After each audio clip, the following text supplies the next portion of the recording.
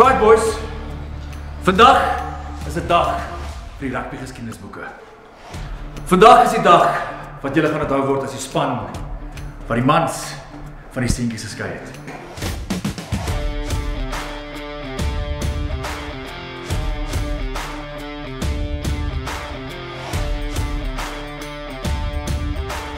Stryders bloed is Rooi! hoe rooi.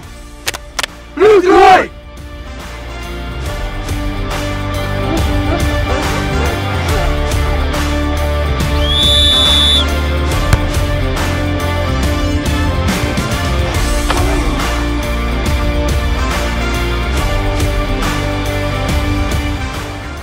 oefen al vir weke Jan. So maak seker van julle paase.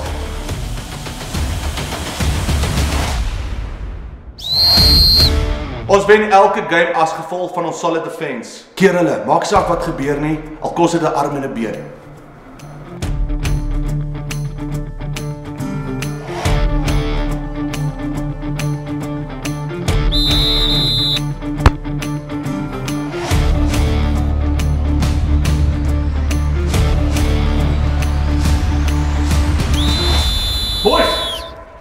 Wat die hel gaan aan na buite?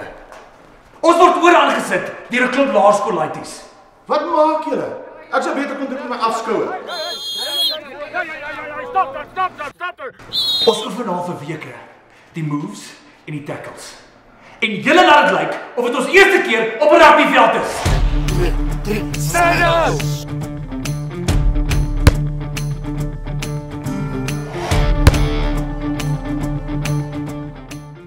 En onthou boys, moenie val vir enige van hulle tricks nie.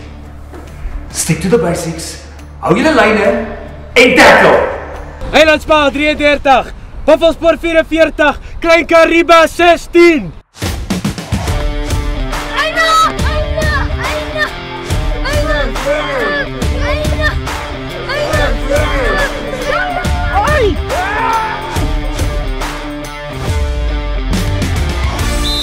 Sien, dinge gaan nie goed nie. Gaan praat met die ref.